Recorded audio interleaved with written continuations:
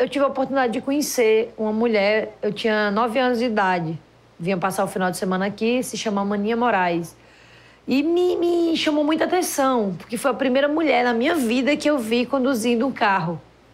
E eu falei, eu quero ser igual a essa mulher quando eu crescer. Que eu senti que ela era livre, independente, de vir de Fortaleza para cá, de, conduzindo um carro sozinha. E eu, eu decidi, decidi ser pescadora, decidi fazer kite, decidi fazer capoeira, decidi ser Sidneia, ser livre. Isso tenho ela, é, para mim foi um, um, um, aprendizado e eu quero que as pessoas tenham um exemplo de Sidneia. Vá lá, faça o que te dá prazer, o que você tem vontade. Não se reprima, seja você, você mesmo.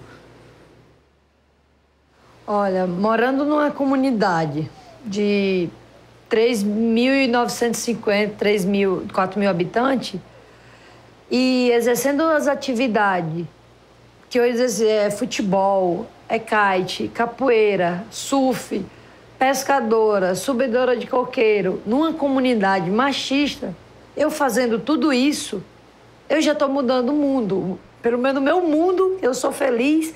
No meu espaço, estou mudando o meu mundo, o mundo de, das minhas amigas, que até aí era reprimida a fazer.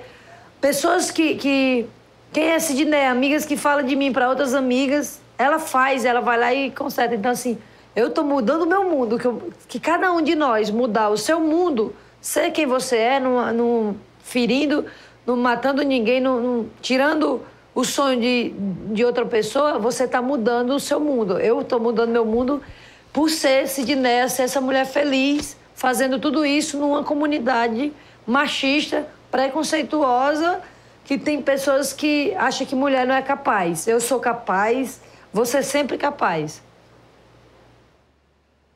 Pois é, eu, eu tenho essa atividade de pescadora que só tem homem, só tem homem na, no, no lugar. E para mim, assim, o meu próprio pai é o grande preconceituoso porque não, não queria me dar a oportunidade de ir ao alto mar. E para mim, assim, eles falavam que o barco vai virar, porque o vento vai ficar forte. E eu me sentia muito assim, por ser mulher. Mas eu fui forte e enfrentei, enfrento até hoje, assim, por, por isso, esse preconceito de ser mulher, do vento, fingir que eu não vou pegar, porque eu vou menstruar, vai ficar naqueles dias. E me magoa muito saber disso, de eu não poder enfrentar porque eu sou mulher, mas eu tive essa resistência, sabe, assim, de, de encarar, de eu, eu vou lá e vou mostrar que eu sei, eu vou mostrar que que eu tenho força, eu vou mostrar que eu tenho habilidade no barco. Eu sei ser pescador, eu, eu consigo puxar um manzoá, entendeu? E para mim me magoou porque é uma coisa como você carregasse um, um peso, você fosse um monstro, que eles não, não, não conseguem.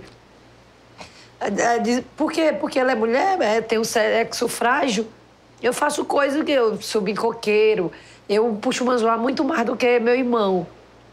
E meu pai olha para mim, eu já sei o que tem que fazer. Os meus irmãos, meus três irmãos, que é pescador como eu, é, meu pai olha, fala, eles pensam e repensa para agir. Eu vou lá e faço. Meu pai, hoje ele fala que eu tenho, tenho uma habilidade muito mais do que os três homens. No, no primeiro momento ele era o preconceituoso, mas como ele viu que eu levava jeito para coisa, ele acabou cedendo, entendeu? Mas assim, até hoje eu vivo esse preconceito que me machuca muito.